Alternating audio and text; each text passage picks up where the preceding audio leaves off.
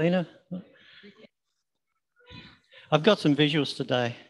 So um, I find myself that pictures really do paint a thousand words or tell you a thousand words. And so I've got visuals to go with what I'm doing today. And I trust that that will help us to allow the Holy Spirit to put His word into our heart this morning, both here and on Zoomers. So I'm sure they'll help to make an impression even for the children. And uh, so we shall carry on. Now, before we go to the first one, before we go to the first one, I'll just um, get ready and set up here. Yeah, hallelujah.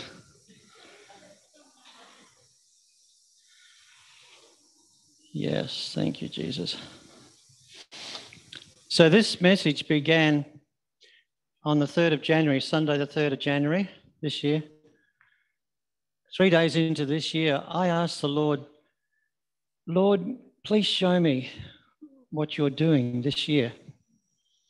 And immediately, I mean immediately, just out in front of me, a vision occurred, an open vision of a Jewish temple and the curtain, the, the Jewish veil was being torn from top to bottom. And he said, This year, I'm unveiling my people more than ever before. This is a year of my unveiling. So today we're going to look at veils and we're going to agree with the Holy Spirit to lift off those veils that don't belong to us anymore. Who knows, we're in a different kingdom now. The old has passed away, all things have become what?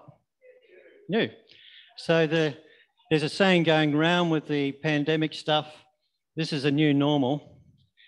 But I tell you, we've got the Calvary normal, that's our normal, and that's our eternal normal. So that's our normal. So could we have image one, please, Evelina? See how they go. Not, yeah, it's not too bad. So that's not the actual vision I saw, of course, because I'm not that good a illustrator. But there you see the temple veil torn into from top to bottom. And the artistic person that presented this, um, they have just put the cross back there to make it even more uh, relevant. So I'm going to read to you from Matthew chapter 27, and I'd ask that you just keep looking at that. As you hear the word, look at the word too, coming into you. So, Matthew 27 from verse 45. Now, from the sixth hour until the ninth hour, there was darkness over all the land. And about the ninth hour, Jesus cried out with a loud voice, saying, Eli, Eli, lama sabachthani, that is, My God, my God, why have you forsaken me? Some of those who stood there, when they heard that, said, This man is calling for Elijah.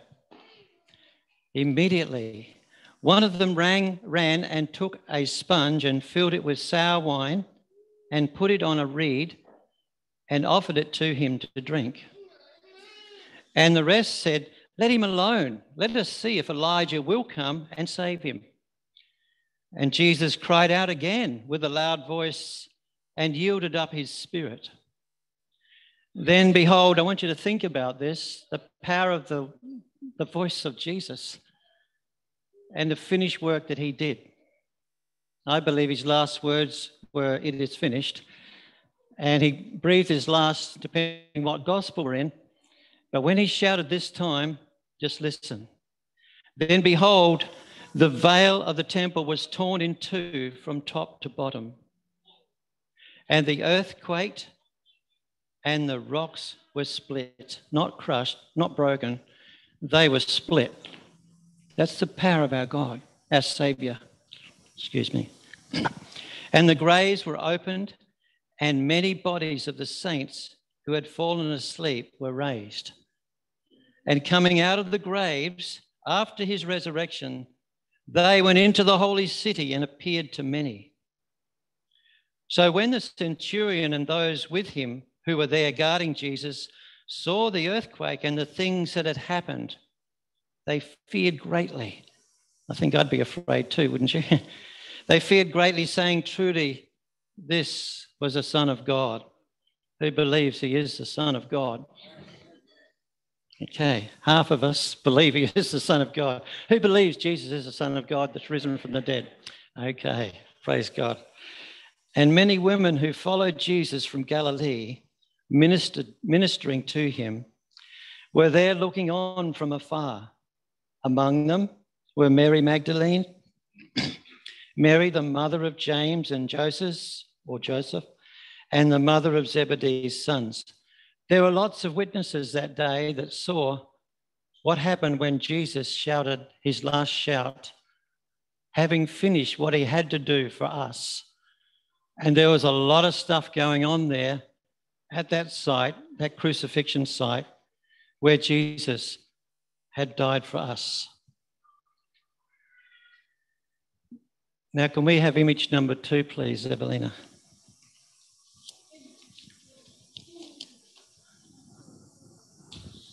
So, the one veil is torn in two. Do we have another veil? And is it open?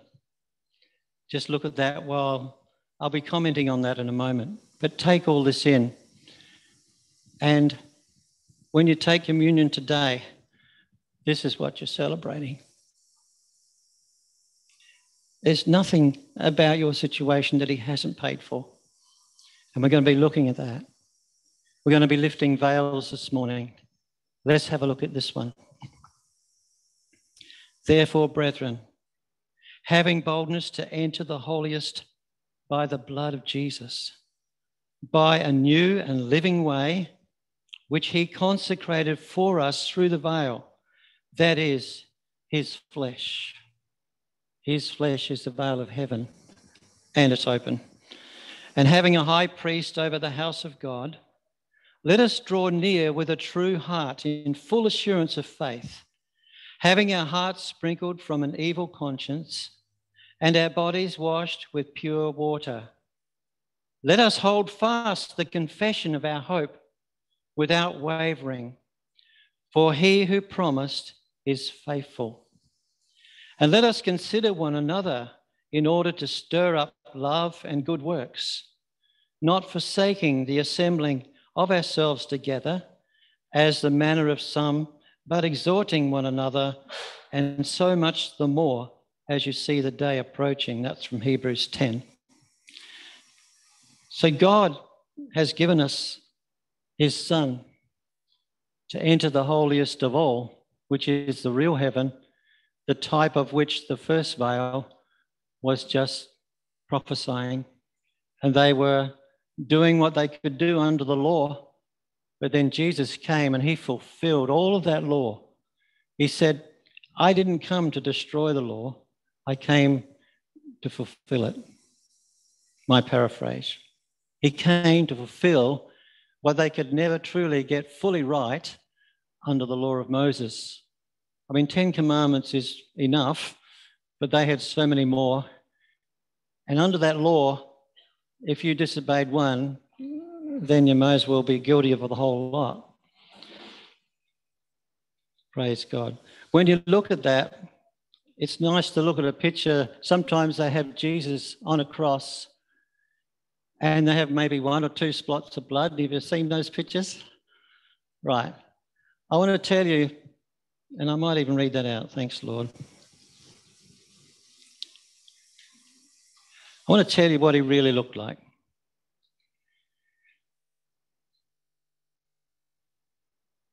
But behold, my servant shall deal prudently. Isaiah 52, verse 13. He shall be exalted and extolled and be very high. Just as many were astonished at you, so his visage, his image, was marred more than any man, and his form more than the sons of men. So he shall sprinkle many nations. Kings shall shut their mouths at him. For what had not been told, they shall see him, and what had not they had not heard, they shall consider. Who has believed our report? 53 now. And to whom has the arm of the Lord been revealed? For he shall grow up before him as a tender plant, as a root out of dry ground. He has no form or comeliness when we see him. There is no beauty in him that we should desire him. I believe that's relating to this picture, not his normal appearance. I've, I've seen him. And this picture, this Calvary picture, that lashing, that crucifixion of our Lord, our veil into heaven is open. But there would be no clean lines on that body, all ripped to shreds. And he was, he was punished. God allowed him to be punished more than any other man as far as the Roman flogging and everything goes. They put everything into it because God wanted them to. He spared nothing for you and me. He spared nothing. It's all paid for and it's all free. But we have to believe. Praise God.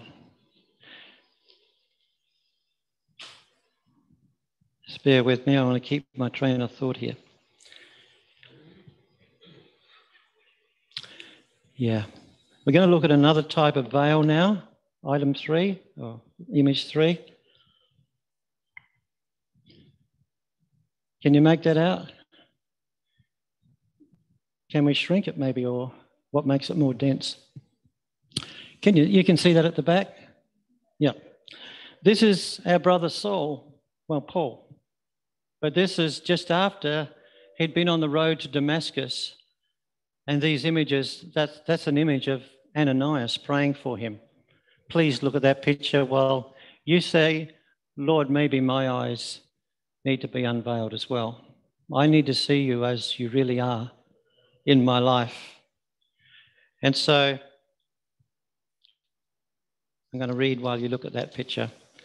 Then Saul, still breathing threats and murder against the disciples of the Lord, went to the high priest and asked letters from him to the synagogues of Damascus, so that if he found any who were of the way, whether men or women, he might bring them bound to Jerusalem.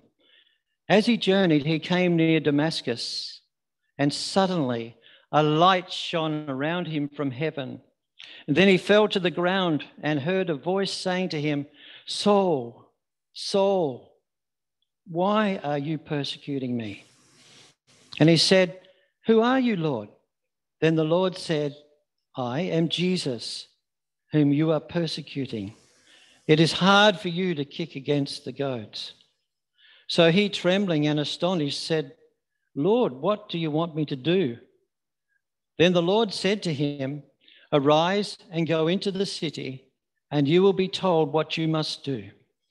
And the men who journeyed with him stood speechless, hearing a voice, but seeing no one.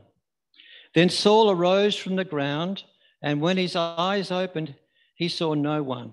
He was blind, blinded. But they led him by the hand and brought him into Damascus.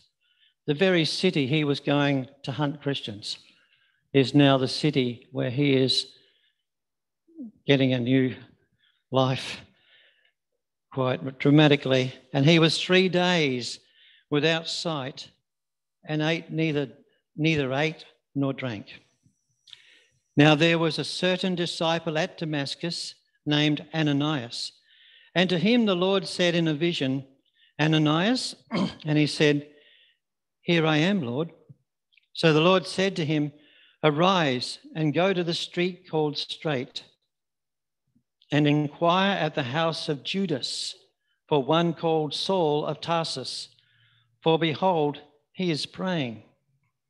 And in a vision, he has seen a man named Ananias, pretty clear vision, coming in and putting his hand on him so that he, so that he might receive his sight. Just a moment.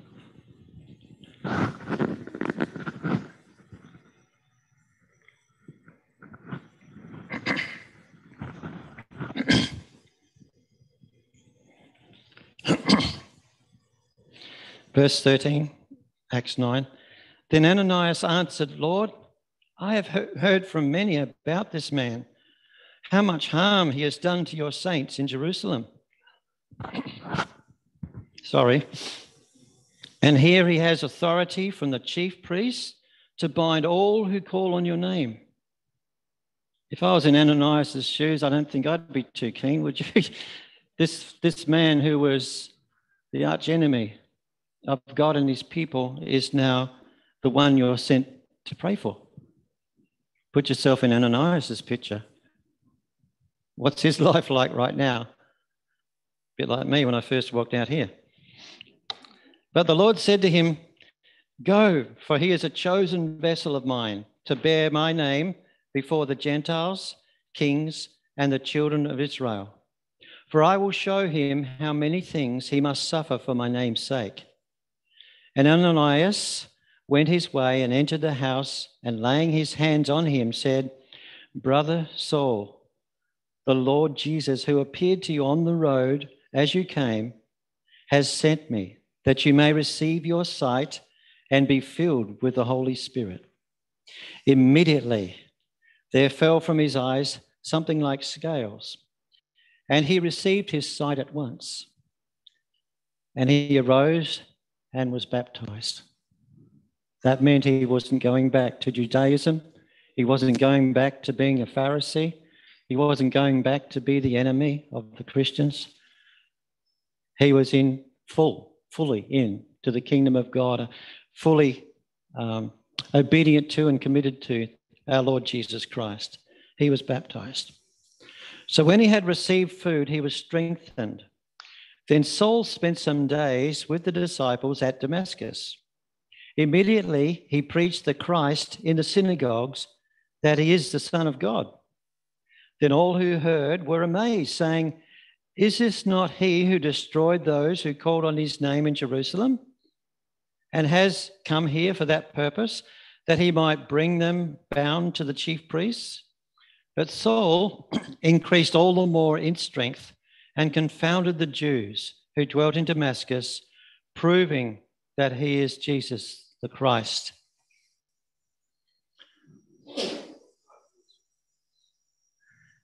Can we just Maybe look to heaven and pray this prayer.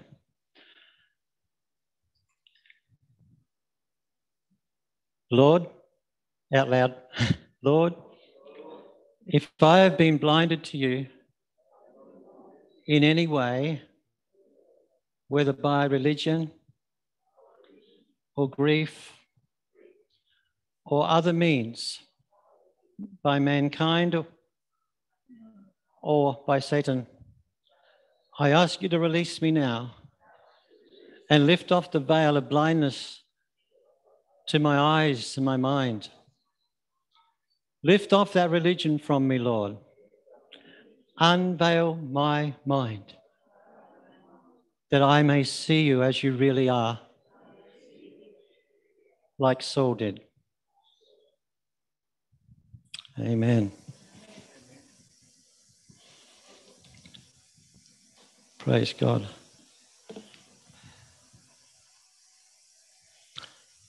Veils are coming off today. We're going to pray a little bit later again. But let's go to image number four, Evelina.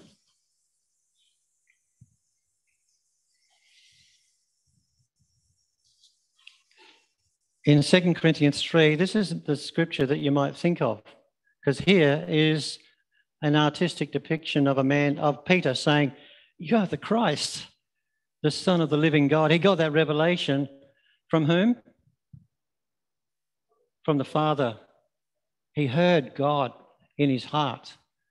So I say to you, his heart was unveiled by God the Father so that he could see Jesus as who he really is. These were Jewish people. They had been faithful to him, they'd been with him along the shores of Galilee, in, the, in the towns, the cities. And here they were. And he's asking them a question Who does men say that I, the Son of Man, am? Some said, like Elijah, one of the prophets, etc. But um, then Jesus said, But who do you say that I am? And that's my question to you. right now? Who do you say that I am? says the Lord, Jesus, asking you, Who do you say that I am? And Peter, as you know, said, Lord, you are the Christ, the Son of the living God. His heart was unveiled. And I want to read to you from 2 Corinthians chapter 3, verse 12. Therefore, since we have such, so yeah, 2 Corinthians 3, verse 12. Therefore, since we have such hope, we use great boldness of speech. Unlike Moses, who put a veil over his face so that the children of Israel could not look steadily at the end of what was passing away. But their minds were blinded, for until this day, the same veil remains unlifted in the reading of the Old Testament, because the veil is taken away in Christ. But even to this day, when Moses is read, a veil lies on their heart to all the Jews. Pray for them. Come off them. Let the veil come off them. Nevertheless, when one turns to the Lord, the veil, both the mind and the heart, is taken away. May it be so to us, to Lord, Lord, today. Now the Lord is the Spirit, and where the Spirit of the Lord is, there is what? Amen. But we all, with unveiled face, beholding as in a mirror the glory of the Lord, are being transformed into the same image from glory to glory, just as by the Spirit of the Lord. Raf, you are being transformed from glory to glory into the very image that God has for you in Jesus Christ. Amen. We'll get onto that later on, maybe. bless you, mate. Praise God. We're not going to go to the next one just yet. okay, leave it there. I want you to look at Peter for a while. I'm just going to pray for some people. Surprise, surprise. Helen. The Lord showed me you last Wednesday and he said um, he's lifting off a veil, and I believe some of that veil is grief, and um, it's grief and stress, and it's um, it's affecting your like train of thought, your thoughts.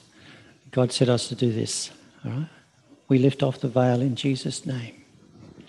Okay, that's symbolic, but agree with the fact that Jesus has lifted the veil off your mind and you're going to have good experiences with God.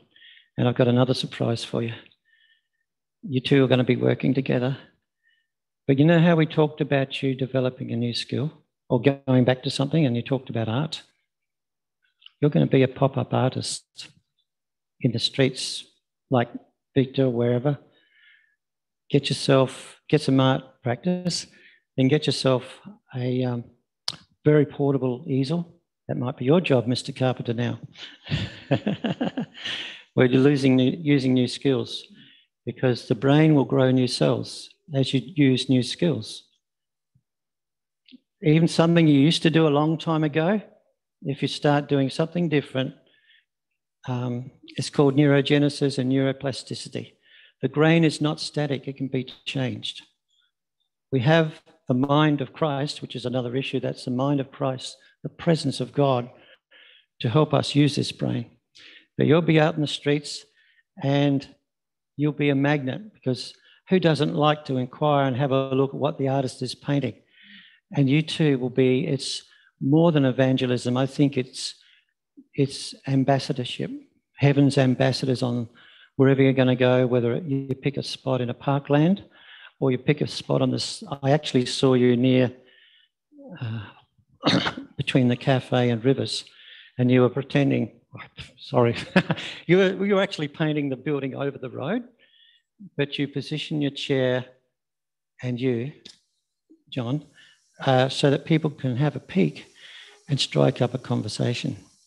All right, and all you do is tell them what you do, and you just your testimony is your evangelism. Your testimony is your evangelism, your love for God that you feel. And why do you paint? Because I get joy out of it. So pop up evangelism through artwork.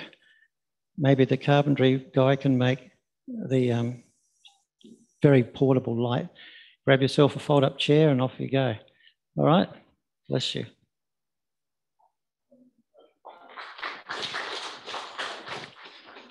Not me, not me. He's my husband. Don't worry, I won't go into details. Last Thursday morning, I woke up, my love, after a dream where I saw you so young and more beautiful than you've ever been able to be photographed before. And you were wearing tomato red, a jumper. Your face was glowing, and I mean glowing. And uh, you, you looked about 30. Now, this may be over the top to you. That's all right. Just call me OTT because I learned that phrase from my brother. I believe there's, we haven't even touched the outpouring of God yet. This is a new era where we must allow God to stretch us and stop us from being limited in our thinking. But I believe God's going to rejuvenate your body. That's a short story. But to me, you look about 30.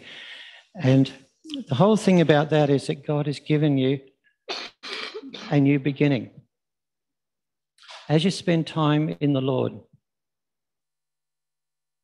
soaking in his presence, you'll find that the restrictions of old will go away.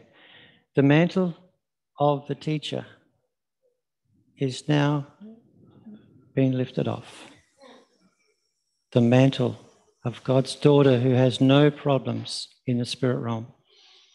She doesn't have to think about everything and plan everything anymore. She is God's daughter. There's no restrictions at all. You're going to see and hear and understand more clearly than most. And you'll be doing meetings, especially women's meetings. So get ready. Praise God. Keep looking at who are we looking at? Peter. Praise God.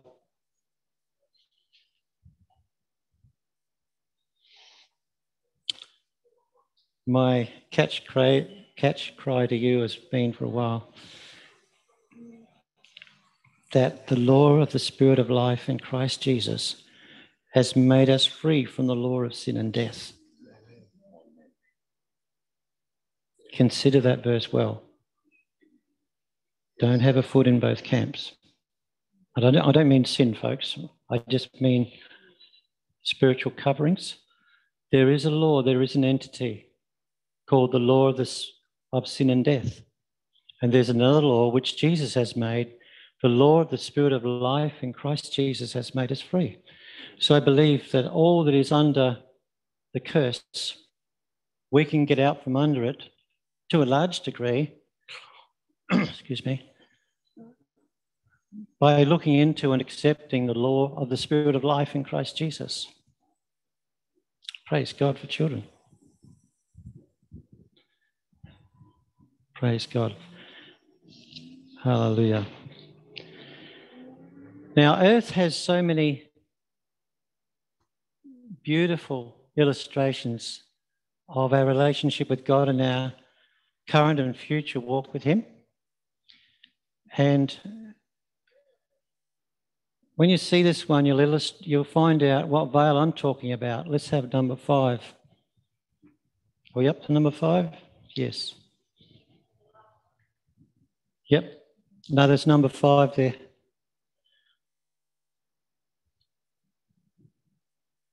There should be five images. Ah, we got it. So I was still looking at Saul last time I looked. There's your surprise there, Ralph and Denise.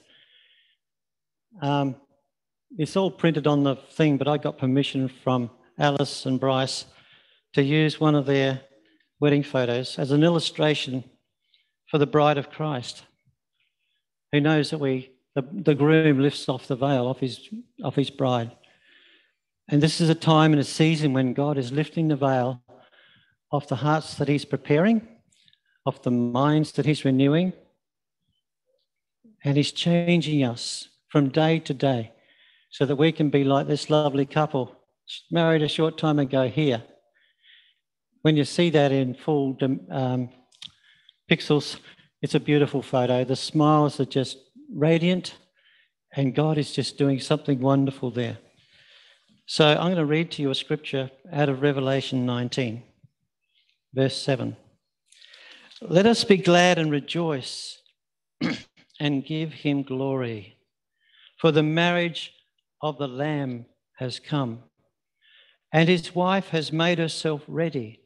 And to her it has been granted to be arrayed in fine linen, clean and bright. For the fine linen is the righteous acts of the saints. Then he said to me, Write, blessed are those who are called to the marriage supper of the Lamb. And he said to me, These are the true sayings of God. That was an angel talking to John. Praise God. Hallelujah.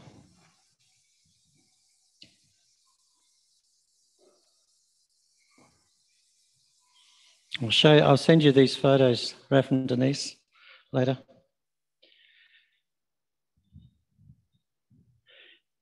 Can we go back to image number two, Evelina? Is that okay? Jesus on the cross. Yep.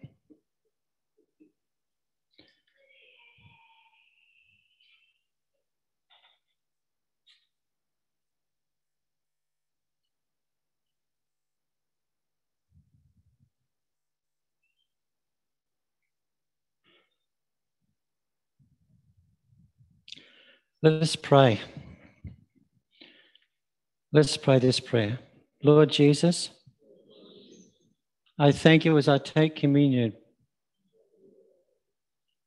knowing that you were marred more than that man is in that picture, that anything that had to be done to save me, heal me, deliver me, and fill me with your presence you paid the price for. You have not abandoned me. You have set me free. For by your stripes, Lord, I am healed. Lift off the veil of unbelief, religiosity, and fear, and false counsel from professionals and help me to receive the healing you paid for.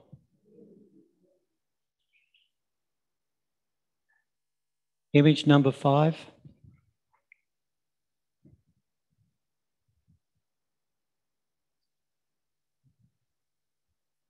We're still praying. Lord, lift off the veil from my heart my eyes, my mind. Help me to be prepared as a bride prepares herself, that I may be in your marriage supper of the Lamb. In Jesus' name.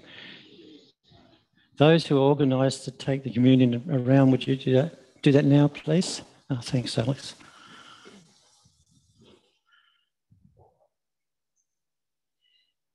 Thanks, Maurice. I might grab some. Thank you.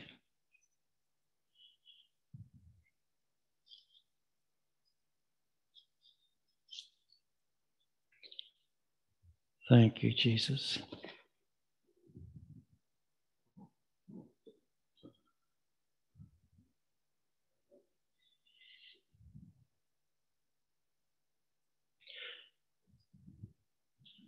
Those two pictures were used for communion Jesus on the cross and this one.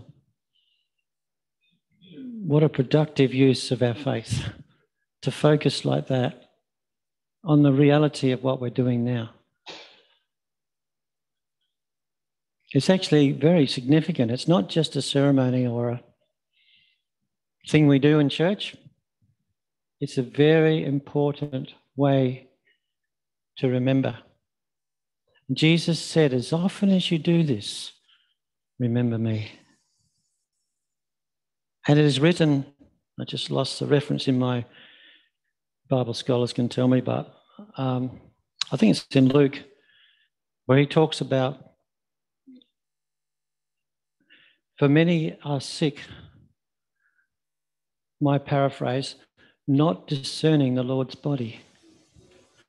That body that we saw first paid the price. Name your disease, it's been paid for. Name your sickness, your ailment, your aches, your pains, been paid for.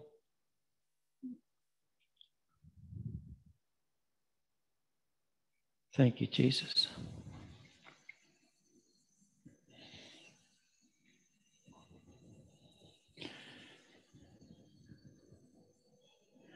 Thank you, Lord. Still going. Ah, I'm just going to ambush because I was looking for him earlier. He's hiding. Young, young Dave. I saw him on Wednesday too. Is that? No, it's not Dave. Not Dave. Not even like Dave. Sorry. False alarm.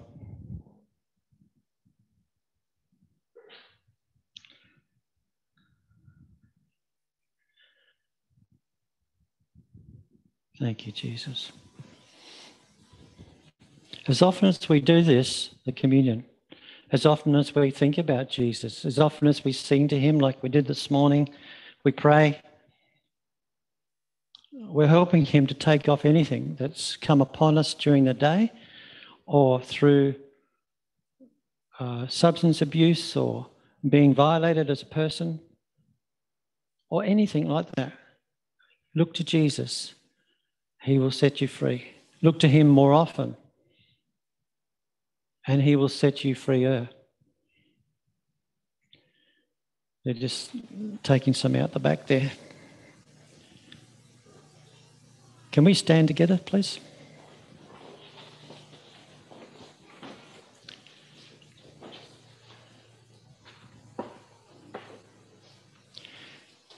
Can we make this statement? Look at the emblems, the body and the blood of Jesus represented here. And say this scripture For the law of the Spirit of life in Christ Jesus has made me free from the law of sin and death. Now, please take communion, and I'll hand back to Mark Britnell when he's finished. Up. Close off. Wind up. Keep going. We're done. Okay.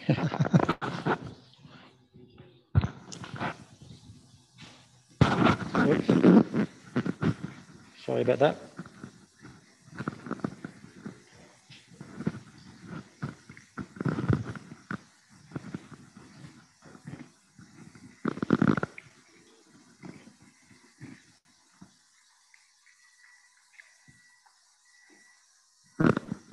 Praise God. I'm releasing you right now. Just know that God's unveiling you this year more than ever before. He's been doing it for, we're in our seventh month now, and He's about to do more in your life. He'll take the veil off, including sickness and disease, because that comes under the curse. So that will help you, I believe. In Jesus' name, God bless you. And enjoy your lunch. There's a heap out there enjoy your fellowship.